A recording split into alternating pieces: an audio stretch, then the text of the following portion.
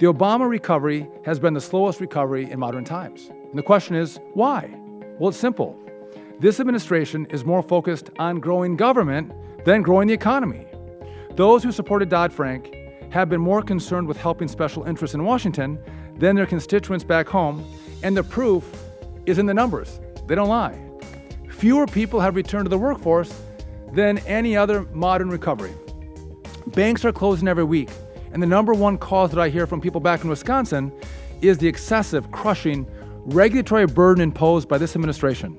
When I go back home to my districts every uh, to my district every week uh, and talk to my local community bankers, who are telling me that, you know, Stephen, uh, Washington just doesn't get it because the people at the top are not being harmed as much as the folks at the bottom. They're, they're the ones that can't get loans anymore because Dodd Frank has made it impossible for the banks to be able to loan these guys money. I share, I think, a, a great concern with many of my colleagues that with the institutionalization of Dodd Frank, that we are seeing an incredible overreach that's going to be impacting uh, the freedom uh, that this country has been built upon to be able to have great entrepreneurialism, to be able to create jobs. When I'm hearing comments that uh, we are having a recovery, I'm uh, strictly reminded that uh, we have the lowest labor participation rate in four decades.